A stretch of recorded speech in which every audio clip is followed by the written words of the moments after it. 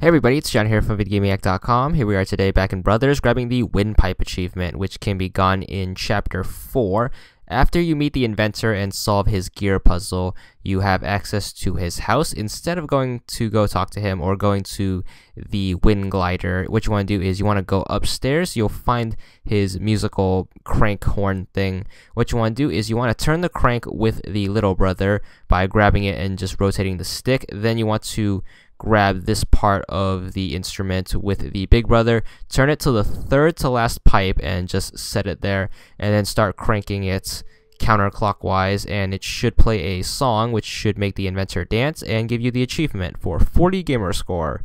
And that's all there is to it.